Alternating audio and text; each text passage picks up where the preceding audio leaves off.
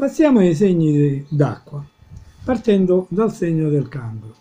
Agosto sarà un mese tranquillo, sereno, pigro, in compagnia di persone di amicizie simpatiche, divertenti.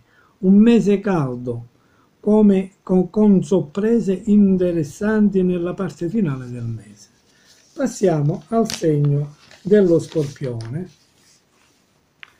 Ponderazione, calma, vi aiuteranno a superare l'inizio del mese abbastanza fastidioso e inquieto, nervoso. Lentamente ritornerà il sereno.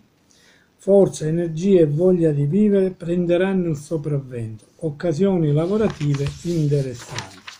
E concludiamo con il segno dei pesci. Non esagerare nell'abusare delle vostre energie specialmente nel settore lavorativo. Correte, I rischi che correte sono insoddisfazioni con, relativo, con relative eh, inquietudini. Un mese particolarmente nervoso, anche in amore, nei rapporti umani. Rischiate di arrivare a fine mese spremuti come un limone. Riposate il più possibile.